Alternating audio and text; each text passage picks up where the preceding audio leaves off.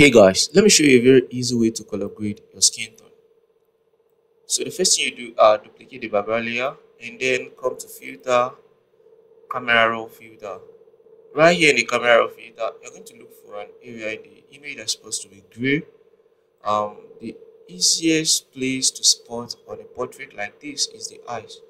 So take your um, hand picker tool, the white balance tool, click on it and then sample the eye area like this and your image color correction is going to be fixed.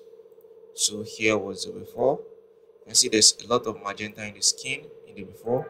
Here's the after others magenta is gone. Once you do that you come back into photoshop for color grading. But before we color grade this image let's smooth out the image. To easily smooth out the image we are going to use the autofix fx and there's the action right here just click on the auto fix.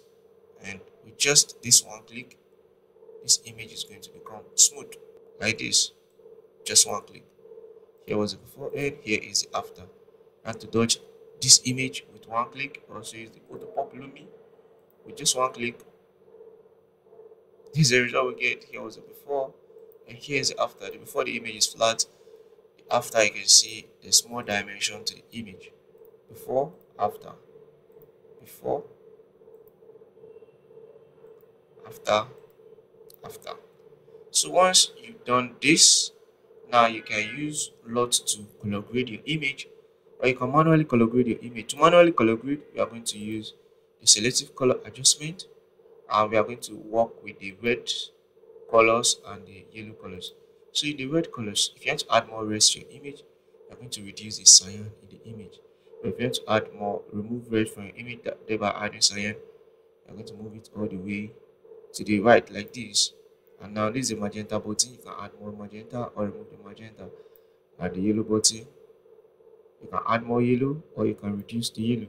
Now, I can't tell you a specific value to impute into this uh, these sliders right here because it's going to vary from image to image what you need is to use your eye to look at your image and determine which color is too much or which color you want to favor, which color you want to pop. And you're going to pop that color right here using the sliders. Now the red color is more intense, the yellows is less intense for dark skin. If it's for a fair skin or Caucasian skin, there's going to be more of uh, the yellows in the skin tone for images like this you're going to have less yellow. So uh, you can still make adjustments like this to turn the image. Now you can see this is before and this is after. We've not done too much to this image. But if you want a faster method uh, I'm going to use skin tone LUTs so come right here. Create a color lookup. Load 3d Go to the folder where your LUTs are located and then load a skin tone LUT into your image. Uh, find the one that works best for you. If you don't have skin tone LUT, check the link in the description for uh, free LUTs. I have free LUTs on my page, so uh, there's a link in the description to give you that. So once you apply the LUTs that you want, you reduce the opacity to match the image. And now let's take a look at the before and the after here was the before and here is the after.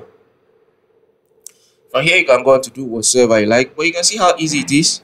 Don't forget how we smooth our image. We use the autofix fx so uh, if you turn off all these layers here's the before applying the autofix.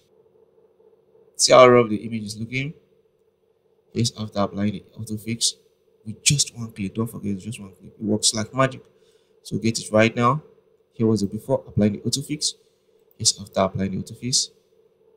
Here's here's before applying the autopop. Here's after applying the autopop. And these actions are just one click actions. Uh, it's going to fasten your image and give you superb results. Retain skin textures and pop your image. Here is after color grading. So check the link in the description to get the autofix effects, to get the autopop, and also to get the free LUT that you can use to color grade your image. Please like this video for more helpful tips, tricks, and tutorials.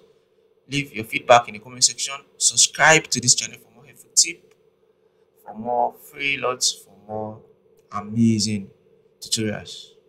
Happy to be part of your creative journey. See you in another amazing tutorial